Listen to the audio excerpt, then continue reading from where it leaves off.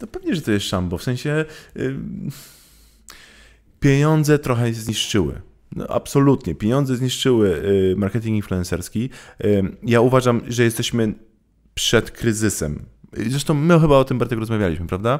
My jesteśmy przed, przed kryzysem marketingu influencerskiego. Ja uważam, że pieniądze, ten rynek będzie wart w 2020 roku, roku około dziś prawie, analitycy podejrzewają około 10 miliardów dolarów.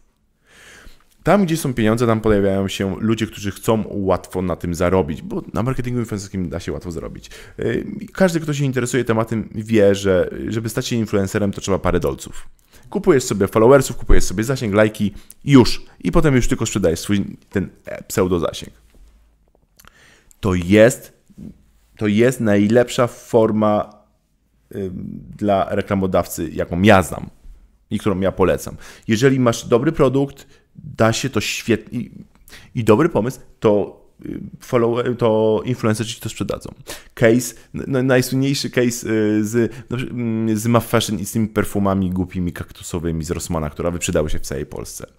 Y, case Michała Szafrańskiego, który w ciągu jednego dnia y, zarobił 69 tysięcy z linku afiliacyjnego banku.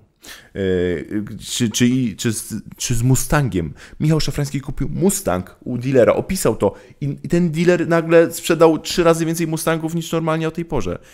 Wiesz, influencerzy sprzedają i to już jest potwierdzony fakt.